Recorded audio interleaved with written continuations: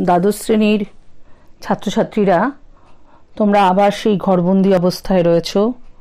আমাদের একটা এমন ধরনের অসুখ হানা দিয়েছে যাতে আমরা স্কুল কলেজ থেকে ঘরবন্দি অবস্থায় পৌঁছে গেছি। এখন আমাদের বাড়িতে বসেই পড়াশুনো করতে হবে, তাই আমাদের টুয়েলভের পরীক্ষাটাও দিতে হবে। তার জন্য আমাদের পড়াশুনোর এই প্রস্তুতি। চতুর্থ অধ্যায়ের আমাদের দ্বিতীয় প্রশ্ন ছিল যে মধ্যবিত্ত সম্প্রদায় এবং জাতীয়তাবোধ। এরপরে আমরা আসছি তিন নম্বর প্রশ্ন, যে উনিশ শতকে ভারতে পাশ্চাত্য শিক্ষার প্রসার সম্পর্কে আলোচনা। ভারতবর্ষের বুকে পাশ্চাত্য শিক্ষা কীভাবে গড়ে উঠল? ব্রিটিশ শাসনের আগে আমাদের ভারতে পাঠশালা, টোল, মক্তব মাদ্রাসা, বিভিন্ন ধর্মের বিভিন্ন শিক্ষা প্রতিষ্ঠান ছিল এবং সেখানে কোথাও আরবি, ফার্সি এবং সংস্কৃত ভাষার মাধ্যমে শিক্ষাদান চলত। কিছু সাধারণ বিষয়ের প্রাথমিক জ্ঞান, ধর্মীয় কাহিনী ইত্যাদি পাঠের মধ্যে দিয়ে শিক্ষাদানের এই পদ্ধতি শুরু হয়েছিল বা আমাদের ভারতবর্ষের শিক্ষা পদ্ধতি এরকমই ছিল। কিন্তু ব্রিটিশ শাসনের শুরুতে এদেশের শিক্ষা ব্যবস্থা ছিল দ্বিমুখী। একদিকে টোল পাঠশালা কেন্দ্রিক সংস্কৃত ভিত্তিক হিন্দু ধর্মীয় শিক্ষা আর একটা দিকে ছিল মক্তব বা মাদ্রাসা কেন্দ্রিক মুসলিম শিক্ষা ব্যবস্থা। কোম্পানি শাসন প্রতিষ্ঠা হওয়ার পর থেকে আমরা দেখতে পাচ্ছি যে ইংরেজদের সদাগরি অফিস, আইন, আদালত, সরকারি অফিস, কাচারি, বাণিজ্যিক প্রতিষ্ঠান ইত্যাদি স্থানে কেরানি তৈরি বা সরকারি কাজে অংশগ্রহণকারী কিছু কর্মচারীর প্রয়োজন ছিল এবং সেই কর্মচারী এত বড় বৃহত্তর ভারতবর্ষকে শাসন করতে গেলে ব্রিটিশ সরকারের পক্ষে ইংল্যান্ড থেকে কর্মচারী এনে শাসন করা অসম্ভব ছিল, ব্যয় সাপেক্ষ ছিল। অনেক অর্থ খরচের সমস্যা ছিল। তাই ভারতবর্ষের মানুষকে দিয়েই ভারতবর্ষের শাসন কার্য পরিচালনার পদ্ধতি যে চালু হয়েছিল, যেখান থেকে আমরা পেলাম যে মধ্যবিত্ত শ্রেণির উদ্ভব হয়েছিল, তাহলে আমাদের দেশে এই উদ্ভবের একটা বড় কারণ, মধ্যবিত্ত শ্রেণির উদ্ভবের একটা বড় কারণ ছিল পাশ্চাত্য শিক্ষার বিস্তার। তার মানে ভারতে পাশ্চাত্য শিক্ষা প্রবেশ করলেও তার একটা বড় কারণ, কিছু করণিক বা কেরানি তৈরি করার উদ্দেশ্যে। ফলে আমরা দেখতে পাচ্ছি যে ইংরেজদের অধিকৃত প্রতিষ্ঠানগুলিতে চাকরি পাওয়ার আশায় বাঙালি মধ্যবিত্ত সম্প্রদায় পাশ্চাত্য শিক্ষার প্রতি, বিশেষ করে ইংরাজি শিক্ষার প্রতি আকৃষ্ট হন। এবং এই সময় বিভিন্ন ইংরাজি স্কুল প্রতিষ্ঠা শুরু হয়। কিন্তু ভারতে ব্রিটিশ শাসনের প্রথম দিকে ব্রিটিশ ইস্ট ইন্ডিয়ান কোম্পানি মনে করত কিন্তু যে পাশ্চাত্য শিক্ষার প্রভাবে ভারতীয়দের মধ্যে জাতীয়তা বোধ গড়ে উঠবে, স্বাধীনতার আকাঙ্ক্ষা জেগে উঠবে এবং তারা ব্রিটিশ শাসন থেকে মুক্ত হবার চেষ্টা করবে। তাই জন্য কোম্পানি এদেশে সংস্কৃত এবং আরবি, ফার্সি শিক্ষাকেই উদ্দেশ্য করেছিল বা উৎসাহ দিয়েছিল। এবং এই সময় আমরা জানি কলকাতা মাদ্রাসা, সতেরোশো একাশি খ্রিস্টাব্দে, এশিয়াটিক সোসাইটি, সতেরোশো চুরাশি খ্রিস্টাব্দে, বারাণসী সংস্কৃত কলেজ, সতেরোশো একানব্বই খ্রিস্টাব্দে ফোর্ট উইলিয়াম কলেজ আঠেরোশো খ্রিস্টাব্দে প্রতিষ্ঠা হয়েছিল। কিন্তু এগুলো সবই ছিল, প্রায় আমরা দেখতে পাচ্ছি যে দেশীয় শিক্ষাদানের পদ্ধতির মাধ্যম। এরপর আমাদের অন্যতম দিক হচ্ছে যে ক্রমশ বেসরকারিভাবে কিন্তু ইংরাজি শিক্ষার একটা সূচনা হয়েছিল। উনিশ শতকে নানা বেসরকারি ইংরাজি স্কুল প্রতিষ্ঠা হয় এর মধ্যে আঠেরোশো ষোলো খ্রিস্টাব্দে রাজা রামমোহন রায়ের নেতৃত্বে অ্যাংলো হিন্দু স্কুল আঠেরোশো আঠেরো খ্রিস্টাব্দে তৈরি হয়েছিল। হেয়ারের, ডেভিড হেয়ারের নেতৃত্বে হিন্দু কলেজ, যা পরবর্তীকালে প্রেসিডেন্সি কলেজ নামে বিখ্যাত। এবং আঠেরোশো সতেরো খ্রিস্টাব্দে প্রতিষ্ঠিত হয় পটলডাঙ্গা একাডেমি। এবং আমরা দেখতে পাচ্ছি যে এই সময় ধীরে ধীরে এই ভারতে সর্বপ্রথম সুসংঘবদ্ধভাবে শিক্ষা ব্যবস্থার দাবি জানিয়েছিল কোম্পানির অবসরপ্রাপ্ত কর্মচারী চার্লস গ্রান্ট। ক্রমে এদেশে ব্রিটিশ শাসন প্রতিষ্ঠিত হলে সরকারি অফিস আদালতে যে ইংরাজি শিক্ষিত লোকের দরকার সেটার প্রতি কিন্তু ক্রমশ ব্রিটিশ সরকার উপলব্ধি করতে শুরু করে বা তাদের মধ্যে এই ইংরাজি মাধ্যমে ভারতীয়দেরকে শিক্ষিত করে তোলার একটা ইচ্ছে, তাদের শাসন ব্যবস্থাকে পরিচালনার ইচ্ছে হিসাবে কাজ করে। তাতে আমরা দেখলাম যে প্রথমে এই ইংরাজি শিক্ষার বিস্তারের ক্ষেত্রে শ্রীরামপুর মিশনারিদের উদ্যোগ ছিল বেসরকারিভাবে সবচেয়ে বেশি। ভারতে খ্রিস্ট ধর্ম প্রচারের উদ্দেশ্যে শ্রীরামপুরের খ্রিস্টান মিশনারি বা ধর্মপ্রচারকগণ দেশের বিভিন্ন অঞ্চলে ইংরাজি ও পাশ্চাত্য শিক্ষা প্রতিষ্ঠান গড়ে তোলেন। শর্ট কোশ্চেন আসে এখানে। এই সময় মার্সম্যান, ওয়ার্ড, উইলিয়াম কেরি, এরা তিনজনে মিলে যাদেরকে শ্রীরামপুত্রই বলা হয়।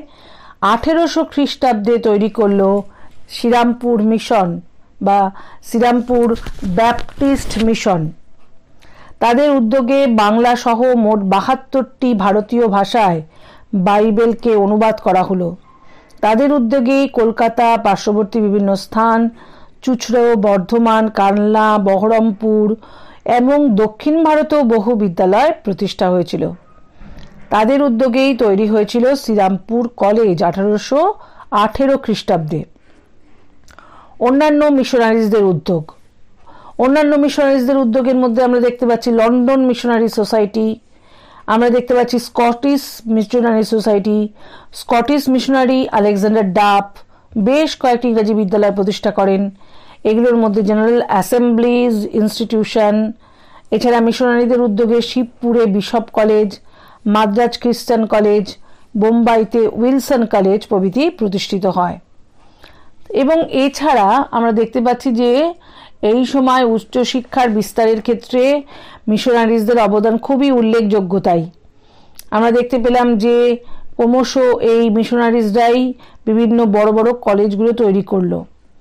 এবং এই সময় আমরা ভারতীয়দের মাধ্যমেও বেসরকারিভাবে শিক্ষার চেষ্টা, ইংরাজি শিক্ষার বিস্তারের চেষ্টা লক্ষ্য করি। এর মধ্যে উল্লেখযোগ্য রাজা রামমোহন রায়।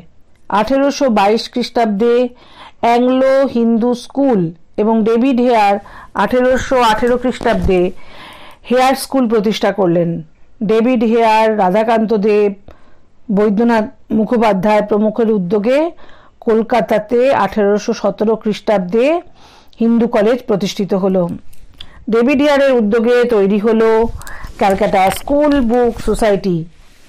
এই ক্যালকাটা স্কুল বুক সোসাইটি আঠেরোশো সতেরোতে তৈরি হলো, কিন্তু পরে আঠেরোশো আঠেরোতে এর নাম হলো ক্যালকাটা স্কুল সোসাইটি। বিভিন্ন স্থানে আমরা দেখতে পাচ্ছি যে ইংরাজিতে শিক্ষাদানের মাধ্যম হিসাবে ইংরাজিকে ব্যবহার করা শুরু হলো। কিন্তু এর সবচেয়ে বড় প্রয়োজনটা তাহলে কি দাঁড়াবে? না ইংরাজিতে পাঠ্যপুস্তক তৈরি করা। তাই আঠেরোশো তেইশ খ্রিস্টাব্দে তৈরি হলো কমিটি অফ পাবলিক ইনস্ট্রাকশন বা জনশিক্ষা কমিটি। কলকাতায় সংস্কৃত কলেজ প্রতিষ্ঠার সিদ্ধান্ত হলো এবং এই সময় এই সংস্কৃত কলেজ প্রতিষ্ঠার সিদ্ধান্তের বিরুদ্ধে লর্ড আর্মহাস্টকে রাজা রামমোহন রায় চিঠি লিখলেন যাতে ভারতবর্ষে ইংরাজি শিক্ষার বিস্তার ঘটানো যায়। এবং আঠেরোশো তেইশে সংস্কৃত শিক্ষার পরিবর্তে আধুনিক বিজ্ঞান ও ইংরাজি শিক্ষার প্রবর্তনের দাবি জানানো হয়। এই দাবি বেসরকারি উদ্যোগ এবং বেসরকারি ভারতীয়দের উদ্যোগ, বেসরকারি মিশনারিজদের উদ্যোগ, এইসব উদ্যোগ দেখার ফলে ক্রমশ ব্রিটিশ সরকারও উপলব্ধি করতে থাকে যে ভারতীয়দেরকে ইংরেজি শিক্ষায় শিক্ষিত করা দরকার। ব্রিটিশ সরকার তখন কয়েকটি ঘোষণা মাধ্যমে পাশ্চাত্য শিক্ষা বিস্তারের জন্য এগিয়ে আসে। ইস্ট ইন্ডিয়ান কোম্পানি আঠেরোশো তেরো খ্রিস্টাব্দে শর্ট কোশ্চেন আসে চার্টার আইনের দ্বারা ঘোষণা করেন যে ভারতীয় জনশিক্ষার জন্য ইস্ট ইন্ডিয়ান কোম্পানি প্রতি বছর এক লক্ষ টাকা ব্যয় করবে। এবং জনশিক্ষা কমিটির সভাপতি লর্ড মেকলে আঠেরোশো পঁয়ত্রিশ খ্রিস্টাব্দে ভারতে ইংরাজি শিক্ষা প্রসারকে সরকারি নীতি হিসাবে ঘোষণা করলেন। এবং এই সময় উডের ডেসপ্যাচ আঠেরোশো চুয়ান্ন খ্রিস্টাব্দে এই বোর্ড অফ কন্ট্রোলের সভাপতি, ইংরাজি বোর্ড অফ কন্ট্রোলের সভাপতি চার্লস উড শিক্ষা সংক্রান্ত যে নির্দেশনামা জারি করল, তা উডের নির্দেশনামা পরিচিত।